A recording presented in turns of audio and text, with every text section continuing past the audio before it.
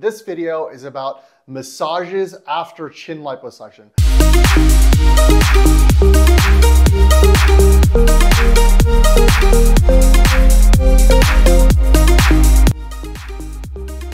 What's up everyone? Dr. Sagar Patel, Beverly Hills facial plastic surgeon.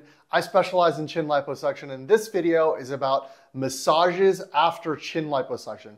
We're gonna be talking with a lymphatic specialist, Aubrey, who's here about how to massage after chin liposuction.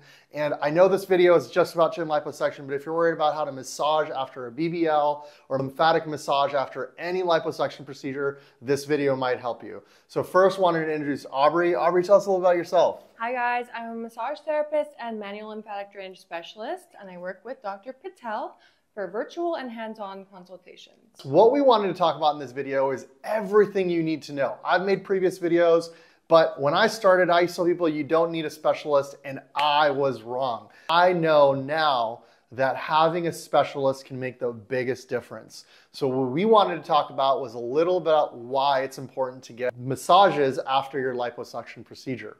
So when it comes down to it, having liposuction of the chin is very, very intense for what goes on in your neck. So after liposuction, when do we meet with them? After liposuction, you want to go hands-on on day four or day six for virtual consultations. So typically I see people around those days and once I've cleared them saying, hey, everything's normal, we're sending them over to start massages. Massages are going to be critical for your results. And as crazy as it sounds, I've heard of surgeons saying you don't need or shouldn't get massages. And I wanted to tell you from the experience of someone who's done thousands and thousands of procedures in this video why that is an absolute no-no. So your day four, day six, you've gotten liposuction. What does your neck feel like? It feels very squishy and puffy. It can be kind of a loose feeling underneath your chin here where the adipose has been removed, or it can feel quite hot and hard. Now, in the end of the day, it's like literally, I call it the Rice Krispies snap, crackle, and pop. You can feel things squishing around. Some of that is blood. Now, in the end of the day, a lot of surgeons will say start massaging on day one or two. That I disagree with. The reason for that, I don't want you bleeding. We just did a whole bunch of stuff. Your blood vessels are closed, you're clamped. If you go ahead and stimulate that too early, you can create bleeding, make the bruising worse, and that's why we generally want you to wait. What we could have you do early on is on purpose, I leave your earlobe incisions open without any stitches so that if you do have even a drop or two of blood, you can push it up towards the side and get that drop or two of blood out. And a lot of what we see is because of that little bit of blood. In liposuction, everything bleeds a little bit afterwards and everybody has a little bit of blood. And that's kind of part of what's causing some of these problems. There's a lot that goes into it, but that's part of it. Now, we went through what the neck feels like early on, it's day four, you're starting massages. What are the couple things you want to start doing early on? I work a lot with the lymphatic drainage because the longer that the inflammation is stuck in the, where the cannula went in, the more fibrosis and scar tissue we're going to have later, and the harder it's going to break it down later. So we have to be very proactive in decreasing the inflammation, which will also help decrease your pain and symptoms. Now, in the end of the day, you have this kind of fullness in the neck. Early on, it really doesn't feel hard. Like you said, it's squishy what when we're talking about lymphatic massage, what are lymphatics? The lymphatic system is part of your circulatory system and your immune system. You have around four to 600 lymph nodes in the body, and there are larger branches. Chin lipo massage is very important because around one third of all of 600 of your lymph nodes is in the chin area. You also have a lot in your head and your neck. You have your next largest branch in your axillary region, a lot are in the abdomen as well, the inguinal region, and behind your knees and in your now, if one third of your entire body is in your neck, that can tell you exactly why, probably more than any procedure, this is super critical. But essentially, like, let's be honest, when I do lipo, it's destroying some of those lymphatics, whether it's by actually destroying it, even though they're deeper, or by creating so much scar tissue outside of them, they can't flow as well. So a lymphatic specialist comes in and re-establishing that flow. Let's talk through some tips and techniques of what you do to reestablish that flow early on. I use my hands a lot. I have some other techniques like diaphragmatic breathing, some vibration, some tapping, some brushing techniques, and then I use some tools. So the early on tools that you can use at home are dry brushes. If you don't want to buy a dry brush, you can just purchase a toothbrush or sanitize your toothbrush at home. And you want to brush in the general flow of the lymph. So underneath your jawline is going to go towards your ear. You want to go on top of your jawline. It's also going to be kind of inflamed. And on your neck, it's generally down.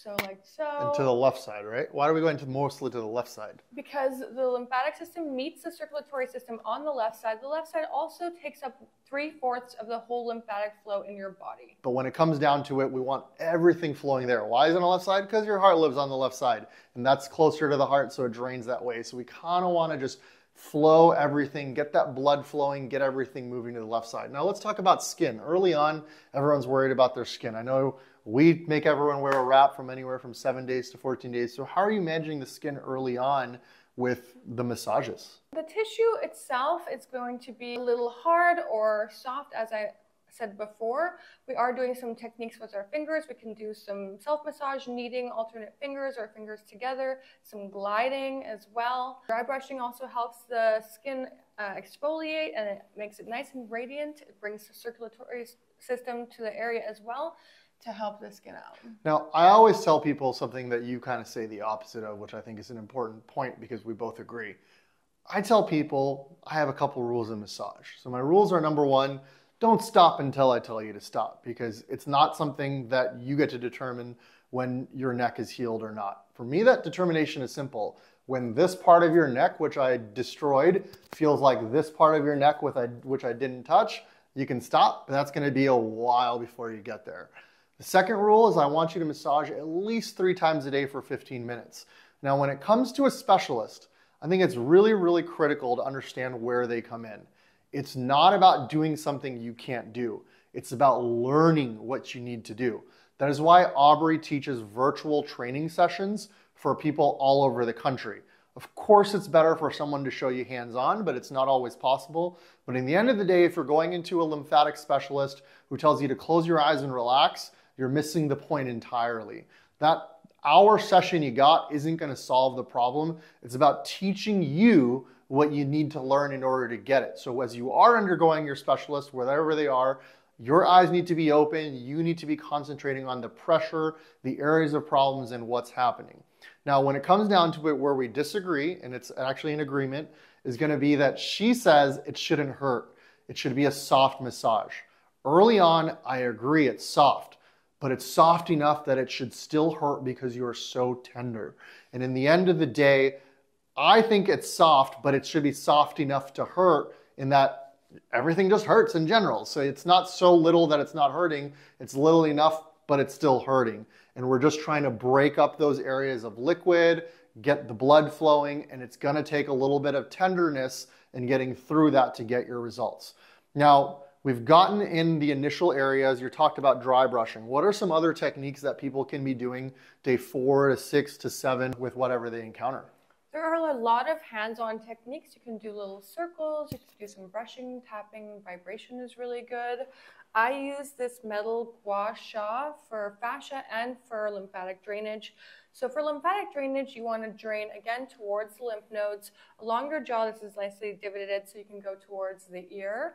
And then on the neck, you want to go down. You don't want to go over your Adam's apple. That's contraindicated. So you can just go like this. You don't want to move your neck until the two week mark. So make sure you're not moving your neck.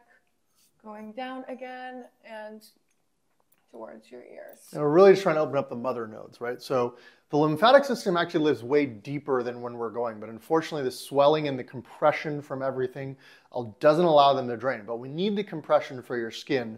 And so your mother nodes live under a muscle that we call the sternocleidomastoid. So that's the muscle when you turn your neck, you're gonna be able to see it over here. And so opening up those nodes in that area is really gonna be what gets the results. How do you recommend people do that since they can't move their necks?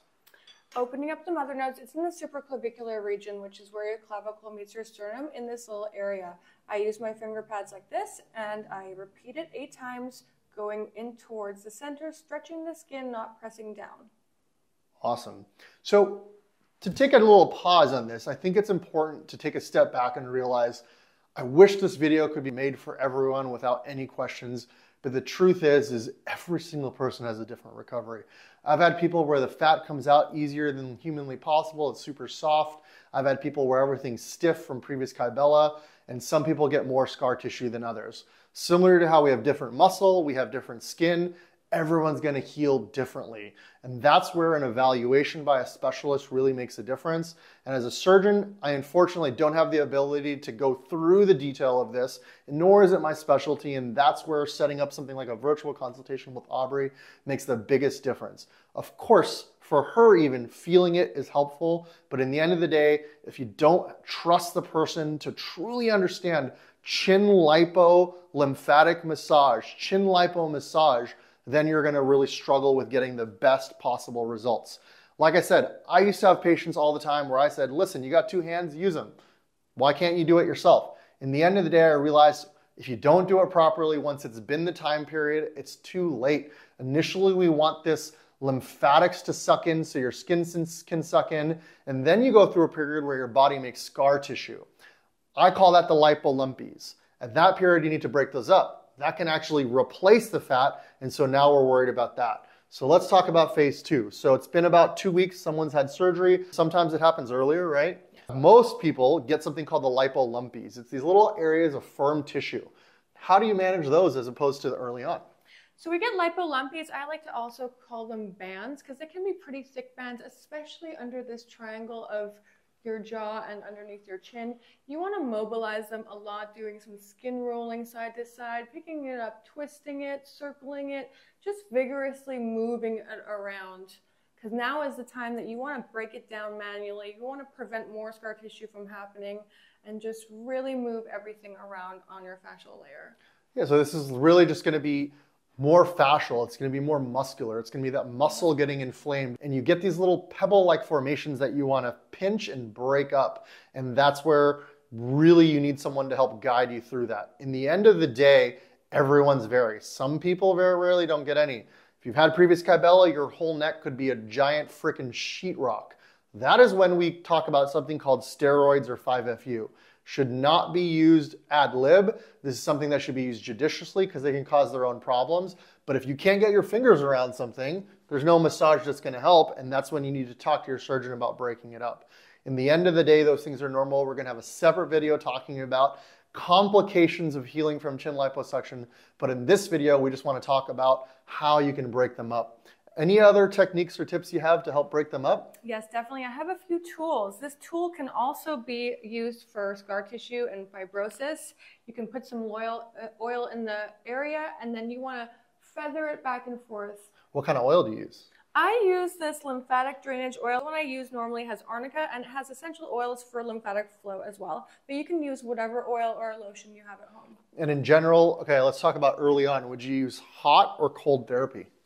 So early on when you're super inflamed, I would use cold to decrease the inflammation. Later on at the two week mark when you're getting fibrosis and scar tissue, you want to heat up the area first because fascia goes between liquid and solid state. So when you liquefy the fascia, then it starts to move and you can mobilize it better and break it down. And then I always recommend doing cryotherapy at the end or cold hydrotherapy, putting a bag of ice at the end to cool it down and draw that blood out of the blood vessels again. And as crazy as it sounds, you can actually do both. You can heat up your neck so your tissue gets soft on the outside and then cool it down at the end. So before massages, it is definitely very advisable, even early on, to use oils to make things smooth so that tenderness is a little bit better and heat it up so that all that scar tissue softens before it goes away and then cool it down afterwards. That combination works out really well. I know this is a ton of information. This is a long video. I wish I could explain to everyone exactly what you need. There's a lot of bumps in the road. In general, when you do liposuction, it is not a point A to point B. It's a point A, B, C, A, B, C, A, B, C, where every week it's getting better, but it's not by a minute to minute. When you massage, it's gonna be amazing, which is the coolest part because it does make a huge difference. But then all of a sudden the stiffness comes back, the tightness comes back, and you get right back into it. But at least our patients believe in us and know, hey, yeah, that made a difference. Now, in the end of the day, you gotta get a professional Aubrey's a great one, but there's people all over who specialize in this. If you have any questions, leave a comment below, leave a like on this video, subscribe to our channel, and most importantly, we're gonna leave some links for these special devices, and a link to book a consultation with Aubrey if you want to. Thanks for following this channel. Thank you. Bye.